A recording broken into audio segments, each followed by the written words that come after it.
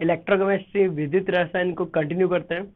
अपन ने इंट्रोडक्शन ले लिया है, अब अपन इस चैप्टर के अंदर चलते हैं।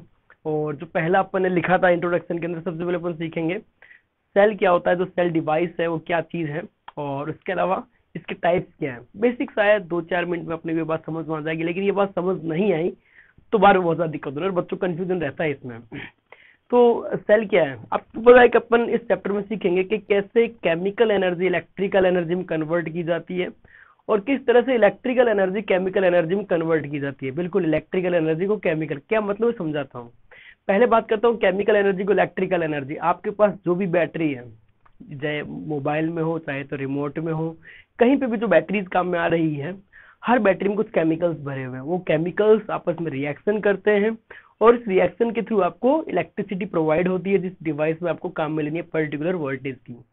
और बात करता हूँ यदि इलेक्ट्रिकल एनर्जी केमिकल एनर्जी में कन्वर्ट करना तो कुछ रिएक्शन ऐसी होती है जो नेचर में अपना आप नहीं होती, उनको फोर्सफुली करवाते हैं अपन लोग। इसको बोलते हैं नॉन स्पॉन्टेनियस अस्वतः अभिक्रिया।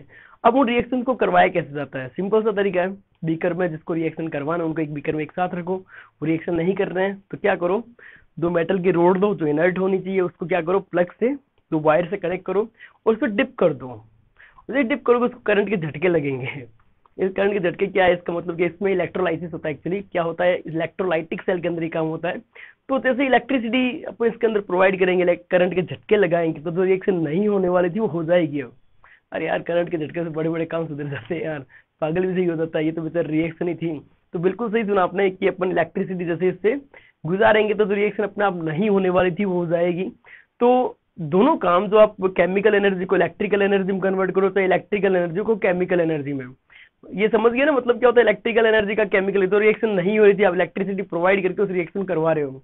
तो दोनों काम के लिए एक डिवाइस चाहिए, और जो डिवाइस यूज़ आता है, वो डिवाइस दैट इज़ सेल इस डिवाइस का क्या नाम रखा गया? सेल सेल एक डिवाइस है जो क्या करता है, इन दोनों एनर्जी केमिकल और केमिकल एनर्जी और इलेक्ट्रिकल एनर्जी इन दोनों के इंटर कन्वर्जन को समझाता है। तो चर्चा करते हैं, देखते हैं हमें तो सेल की एक डिवाइस है। This is a device this is a device which used in interconversion interconversion of electrical energy and chemical energy.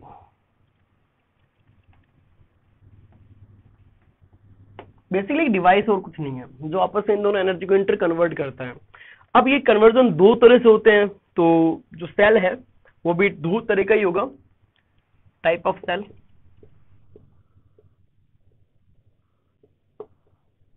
Writing साफ़ करने की कोशिश कर रहा हूँ मैं। चलो तो टाइप है सेल के। पहला इलेक्ट्रोकेमिकल सेल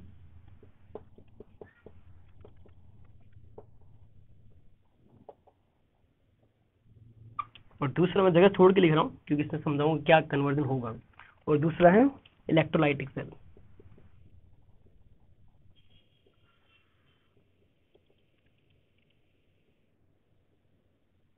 ओके okay. तो आपको पता है इन दोनों एनर्जी का इंटर कन्वर्जन होगा। तो जो इलेक्ट्रोकेमिकल सेल है इलेक्ट्रोकेमिकल सेल वो क्या करेगा? केमिकल एनर्जी को इलेक्ट्रिकल एनर्जी में करेगा, जिसको अपन बैटरी बोलते हैं। सॉरी खाली एनर्जी लिख दिया रे। क्या देखना है इलेक्ट्रिकल एनर्जी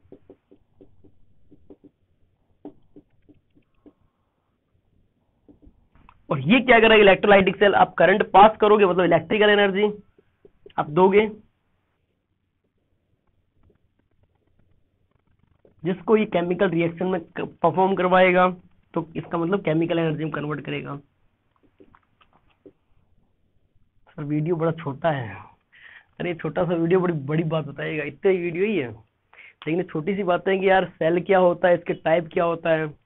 अब सोचो यार कि इस चैप्टर का लगभग थर्टी परसेंट हिस्सा इलेक्ट्रोकेमिकल सेल और फील नहीं इलेक्ट्रोकेमिकल सेल क्या होता है, क्यों होता है? तब तक मज़ा नहीं आएगा। और लगभग ये ट्वेंटी फाइव परसेंट हिस्सा इस चैप्टर का। और जब तक इसकी फील नहीं, क्या है और क्यों है, तब तक मज़ा नहीं आएगा। तो नेक्स्ट चैप्टर में थोड़ा वीडियो अपन इलेक्ट्रोकेमिकल सेल के बारे में बहुत कुछ चर्चा करेंगे। तो ये बेसिक बात थी, ज़रूरी थी, इसलिए इसमें अपन ने सिर्फ़ एक अलग ही वीडियो बनाई, सिर्फ़ इस चीज़ के लिए कि इलेक्ट्रोलाइटिक सेल इलेक्ट्रोकेमिकल सेल क्या है और दोनों में डिफरेंस क्या है। और कौन सी एनर्जी किस तरह से आपस में इंटर कन्वर्ट करता है सेल क्या है, ये डिवाइस क्या काम करता है? इस तरह से अपन ने बहुत बेसिक सी चीज़ें ली है यार, और आगे भी इस तरह से बेसिक चीज़ें ही चर्चा करेंगे। Thank you thank you so much for watching तो बच्चों वीडियो को लाइक करें, उस पर कमेंट करें, और उसको शेयर करें सब्सक्राइब करें। यदि आपको कोई भी डाउट है तो नीचे डिस्क्रिप्शन में आपको एक लिंक दिया हुआ है और उस पर अपना डाउट रूम पे जाए ग्रुप पे जाए और जैसे भी डाउट है प्लीज़ आप पूछे, आपके लिए फैसिलिटी दी गई है। और शेयर करना ना भूले आप लोग, ठीक है?